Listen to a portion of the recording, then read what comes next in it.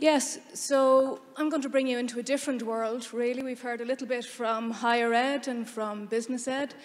So the work I'm involved in is iScoil is our organisation and we provide access to education for young people who've left the formal system it's um, without qualifications. It's a complex issue. Uh, our students come from a range of backgrounds and there's many reasons why they are online with us. They might have mental health issues, behavioural issues, anxiety, socioeconomic disadvantage uh, from travelling backgrounds.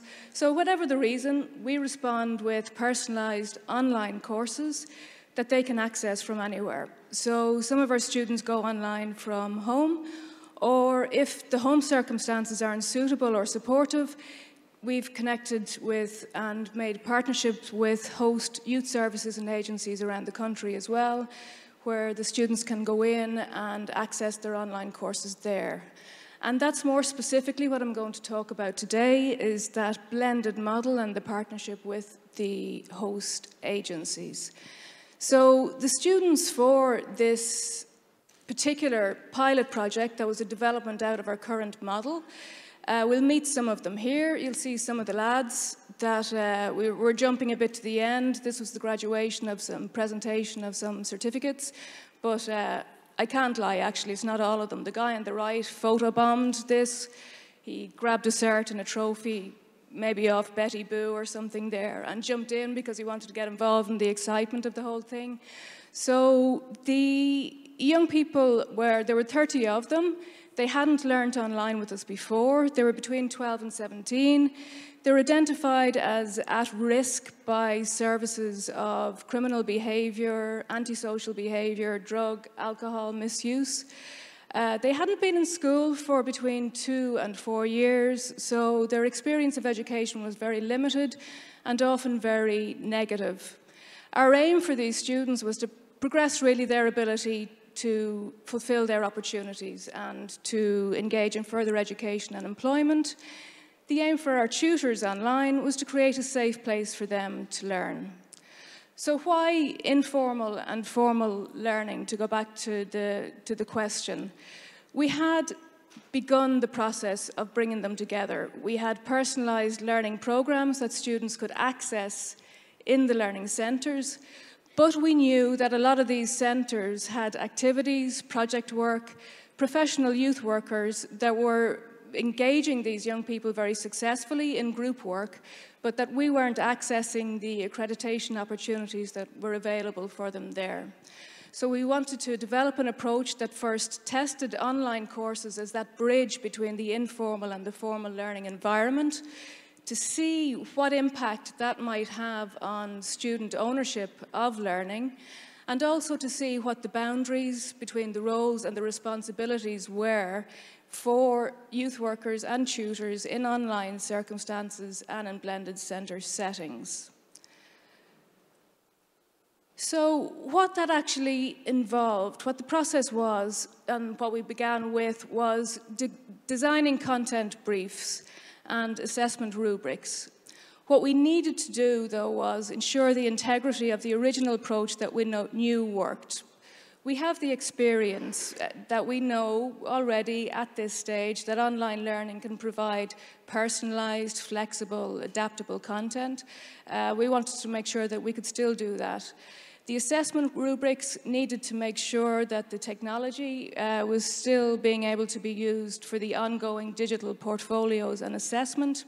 And all across this, all of these elements had to be able to be provided uh, to individuals uh, online and to groups in a centered settings and the support and the interaction had to go across the online tutors and the support workers in the centres as well who are providing face-to-face -face mentoring and personal development programs. So for this group of learners, we were really looking at uh, level two uh, European qualifications framework, personal and interpersonal skills and personal development the building blocks of what they needed to know before they were going to be able to engage effectively in further learning. Things like communication, uh, working in teams, interpersonal skills, identifying their own behaviours, identifying challenging behaviours, and how to be able to deal with them.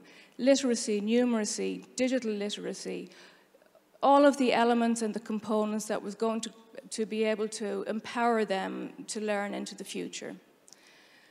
So as we developed the courses, what emerged was a, a multidisciplinary learning environment, effectively. So if you can imagine, the students were going into the centre. Uh, there was six centres across the country, so it was a national pilot. There was four urban settings and two rural settings, so there was a good spread across as well. The students went in five days a week for three hours, so there's an element of, of flexibility there. The informal learning environment allowed them to engage in a setting that they disengaged previously from a traditional school setting that had really set unrealistic and irrelevant expectations for these students. So they were able to go in for the first hour of the day. They went on to their own personalized learning plan, and this allowed them to get their their headspace right. But it was also very important to them because you can imagine some of the content that we were looking at around personal development was very personal to the young person. So identifying your own strengths and weaknesses, your own challenging behaviors and how you're going to deal with them needed to be done in a way that they could just do it by themselves uh, without being challenged in a, in a group situation and to be able to explore and acquire elements of their own learning in, in a safe way. They also had a range of literacy and a range of numeracy, so it was all very, the online piece where that individual one hour was self-paced. As they engaged with the content, the online tutors examined that evening the interaction with the content and they would have a daily refreshed learning plan ready for them for the next day. And this is where project-based learning started to fit in beautifully for us and we could see really the potential of it because it embedded those pieces of integrity that I was talking about just earlier. It allowed the students to engage at their interests. They were deciding what they wanted to work on in the centres. Because there was a range of rural and urban settings, there was a range of local needs uh, in terms of the projects they identified. So Cooking was big. Um, they wanted to, by the end of the 12-week program, to be able to cook a three-course meal for their families and community members, uh, which was a large task for some of them. And as one mother would said, said to us that it took, it was, had taken her 15 years to try and show her son where the kitchen was uh, and what pots were, but uh, over 12 weeks, you know, he'd cut a lot of onions and he was able to, to get to it. Uh, horses was another thing. There's a, there's a strong connection in Ireland in urban settings between young people and their horses. Uh, they bring them, they have them in estates, they keep them on small greens, but they don't know how to care for them properly, so they wanted to learn how to do this. Mountain biking, art design, these are other pieces as well.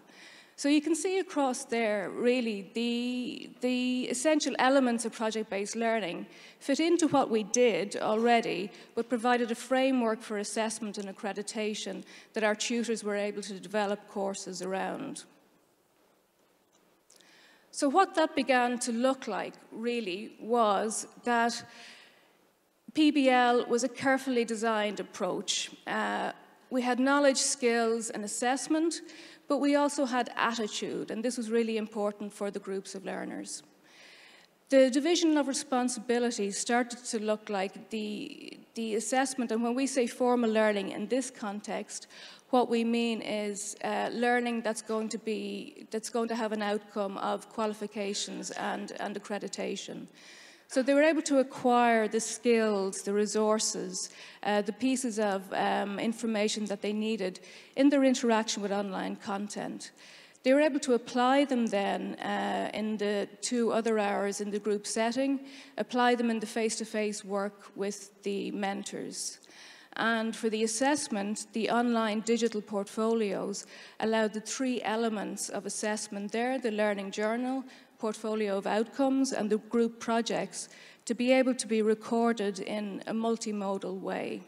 So what we did there was that the evidence was photographed, videoed, blogs that allow them to reflect on learning were able to be done by video, uh, by audio, by also by text if they wanted. And the planning and the facilitation of the group project was recorded on forums that was, interact, that was uh, facilitated by the online tutors. And at the end of it then, a video and showcase of the presentation was done for all the projects. So the outcomes that we saw, uh, maybe we could turn the sound down on that video. Yeah, it's not really necessary because it was one of the challenges. Uh, mountain biking was another thing, and, and this was uh, a challenge of assessment.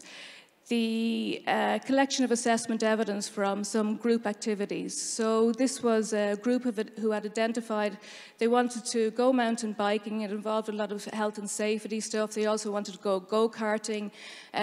Oddly enough, there was no uh, support worker in a centre who was putting their hand up to go down a mountain on a, on a bike with a camera on their shoulder that showed the group doing the, the, the activity. Uh, so there was a kind of a messy element there, the collection of evidence. Uh, some challenges as well was around the information transfer between the online tutors and face-to-face -face mentors and the balancing sequence of group activities and individual learning plans. Effectively, what we saw in the challenges there was probably there wasn't sufficient training for the workers in the centres in the approach that we were trying to develop. So we see the next step as really bringing together all that learning, and the next thing is to provide that professional development piece as well. The outcomes were amazing, um, I would say, in terms of accreditation. For the 30 learners, there was 24 of them that achieved two qualifications at EQF level two and three in personal development and interpersonal skills. Bear in mind these were young people who had achieved no formal accreditation or qualifications previously. Uh, another two engaged in the course didn't have the assessment uh, portfolio complete, but they did the whole thing. And uh, two disengaged from it, so did not complete at all.